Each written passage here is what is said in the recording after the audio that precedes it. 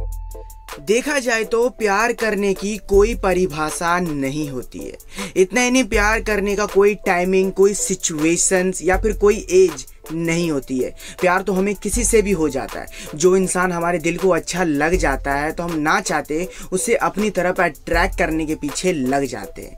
मगर यहीं दूसरी ओर अगर कोई लड़की आपसे प्यार कर रही है या फिर कोई बड़ी एज की लड़की आपसे प्यार कर रही है तो आपको फ्रेंड ये साइन ये इशारे या फिर ऐसा काम वो आपके सामने ज़रूर करती है ताकि आप उसके तरफ़ अट्रैक्ट हो जाओ। ताकि आप उसके तरफ़ लाइन देने लग जाओ, उसके तरफ़ देखने लग जाओ, उसे पहले से ज़्यादा अटेंशन देने लग जाओ।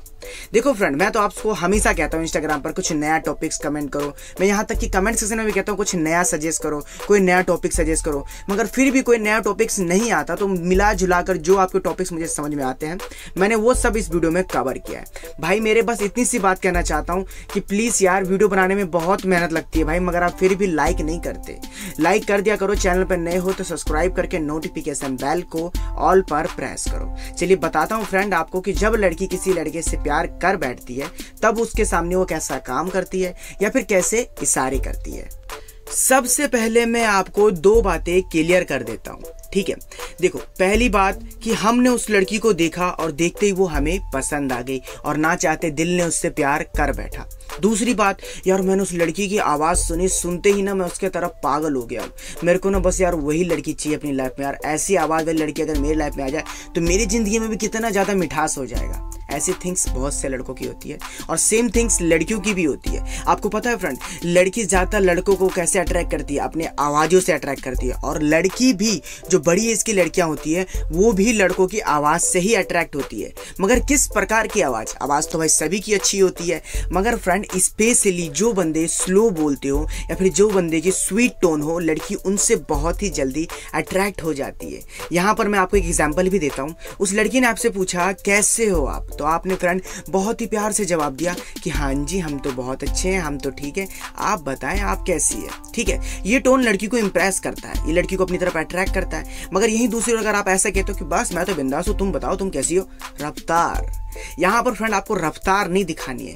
यहाँ पर आपको स्वीट टोन दिखाना है। लाइक कुछ लड़की भी ऐसा काम करती है। अगर वो लड़की आपको पसंद करती है तो आपके सामने हमेशा स्वीट टोन में आपसे बात करना पसंद करेगी।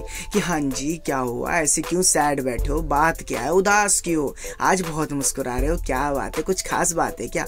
लाइक कुछ ऐसा। लड़की का स्वीट टोन ही दर्शाता है कि वो आपको कितना ज़्यादा पसंद करती है। वरना लड़की को कोई पड़ी नहीं है जो आपके साथ इतने प्यार से बात करे वो। ठीक है ना? तो इस पॉइंट को समझना मेरे भाई, बहुत ही इंपॉर्टेंट पॉइंट था आपके लिए और बहुत मेहनत लगा इस पॉइंट को कवर करने में। तो भाइयों, एक लाइक तो बनता है ना आपका। अब इसी पॉइंट से जुड़ी हुई एक बात मैं आपको और समझा देता हूँ कि इससे आप श्योर तो नहीं हो सकते ना कि वो आपको पसंद करती है या फिर आपसे प्यार करती है। तो उसके लिए एक छोटा सा बोनस पॉइंट समझाता हूँ आपको मैं कि अगर वो लड़की ज़्यादातर आपकी वॉइस की ही तारीफ़ करे कि तेरी आवाज़ ना बहुत अच्छी है यार, तू बहुत अच्छी तरीके से बोलता है। यार तेरी आवाज़ ना काफ़ी ज़्यादा स्वीट टोन करती है। मतलब कि आपसे बात करने के दौरान ज़्यादातर अगर वो आपकी आवाज़ की ही तारीफ़ करती है तो मतलब कि लड़की आपसे इम्प्रेस हो चुकी है। लड़की ऐसा काम तब करती है जब वो लड़के को पसंद तो करती है, मगर उसे कुछ कह नहीं पाती। तो वो घूम फिर के कुछ ऐसी तारीफ़ करना चाहती है, जिससे उस लड़के को उसकी तारीफ़ सुनना बहुत ही ज़्यादा पसंद हो। तो समझे ना मेरे भाई, ये पूरा प्रोसेसर जो मैंने आपको समझाया ना एक्सप्लेन करके, ऐ वे नहीं समझाया। पसीने में एकदम गीला हुआ, पड़ा हूँ भाई। बहुत मेहनत लगती है। कूलर बंद करो एसी बंद करो, पंखा बंद करो। आसान नहीं होता, मगर फिर भी आप लोग लाइक नहीं करते। गलत बात है। चलिए बताता हूँ आपको नेक्स्ट पॉइंट लड़की कैसे बताती है कि वो आपको पसंद करती है? ज़ाहिर सी बात है, कुछ बेसिक चीज़ें से।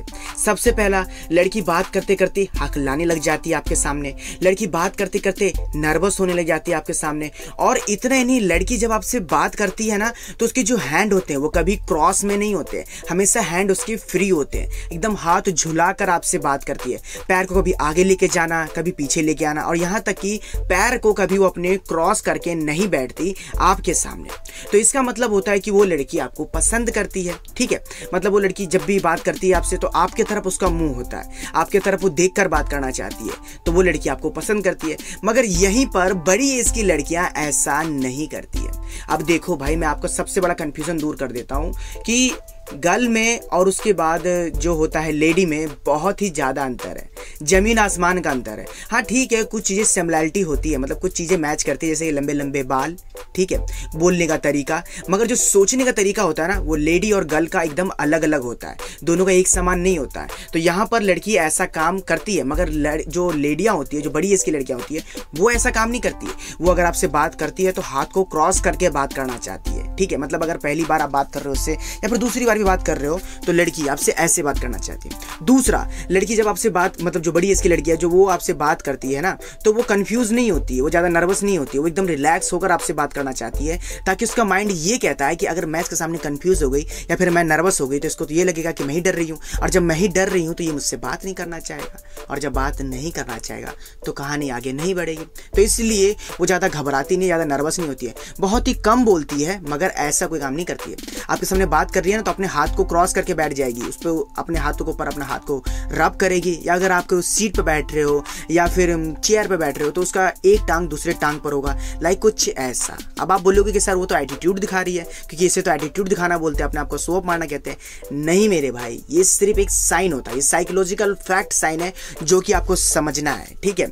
और तीसरी बात मैं आपको समझाना चाहता हूँ कि आपको पता है फ्रेंड कि रिलेशनशिप कब खत्म होती है? जब आप उसके साइन को नहीं समझ पाते। जब वो लड़की आपको क्लियरली साइन दे रही होती है, समझा रही होती है, तब आपको क्या लगता है कि बस आज प्रपोज करता हूँ, बस कल बात करता हूँ, ये करता हूँ, वो करता हूँ, और जब आप लेट हो जाती हो, उसके बाद वो लड़की आपकी तरफ़ पलट कर नहीं देखना चाहती है। समझ गए?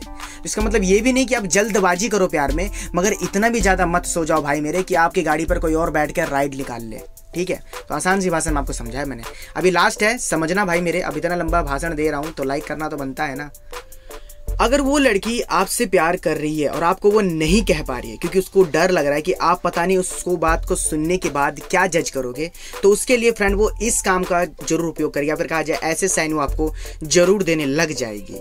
अब वो चाहे लेडी हो, चाहे वो गर्ल हो। समझना भाई मेरे, मैं आपको क्या समझाना चाहता हूँ? वो आपको कुछ इस तरह का इमेज आपके सामने तैयार करेगी कि दुनिया में इससे ज़्यादा बेचारी लड़की कोई है ही नहीं। दुनिया में इससे ज़्यादा मतलब उदास कोई लड़की है ही नहीं।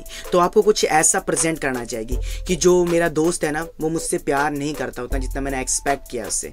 यार मुझे, मेरे फैमिली में ना मुझे कोई टाइम देता ही नहीं है यार। तुम्हें पता है मेरे को तो ऐसे लड़के बहुत ज़्यादा पसंद है जो अच्छी तरीके से बात कर सकें, जो मेरे साथ टाइम स्पेंड कर सके। मुझे किसी और चीज़ की भूख की प्यास ही नहीं है। मेरे को तो बस एक सच्चे दोस्त की तलाश है। लाइक कुछ ऐसा कि मतलब अपने फैमिली मेंबर के बारे में बुराई बताना और आपको कुछ इस तरीके से दर्शाना कि तुम्हारे अंदर वो गुण है, तुम्हारे अंदर वो खूबी है। इसलिए तो मैं तुमसे बात कर रही हूँ फ्रेंड यहाँ पर असल में ये नहीं है कि वो अपनी फैमिली की बुराई कर रही है या फिर वो आपको ये बताना चाहती है कि मेरी फैमिली वाले लोग कितने ज़्यादा बुरे हैं। नहीं। वो आपको ये समझाना चाहती है कि आप मेरे लाइफ में एंटर करो। तभी तो मैं आपको ये साइन दे रही हूँ। तभी तो मैं ये काम कर रही हूँ। मगर आप वहाँ भी नहीं समझ पाओगे।